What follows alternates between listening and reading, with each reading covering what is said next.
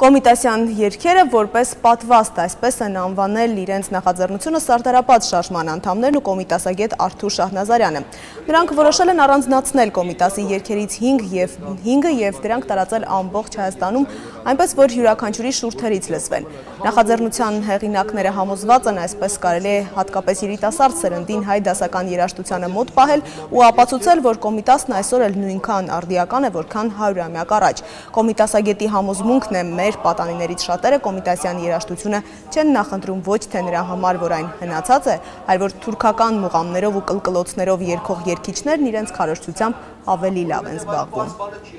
Կոմիտասն ինքն ասում էր, որ մեկ հասկացված ձայնը հազար ճար կարժ է։ Ամենակարճ ճանապարհն է, որպեսզի մեր ինքնությունը վերադարձնենք մեր ժողովրդին։ Երկի մեջ ամփոփված է մեր տեսակը, ով ենք մենք, մեր հազարամյակների տեսակը, որովհետև Կոմիտասը նախքան քրիստոնեությունը մեր ելևեժներն են հոգու երաժշտությունն է հազարամյակների պրոֆեսիոնալ եւ ժողովրդական եւ միջև միջնադար եւ միջև 19-րդ դար ամփոփում է այդ ամբողջը երաժշտական լեզվով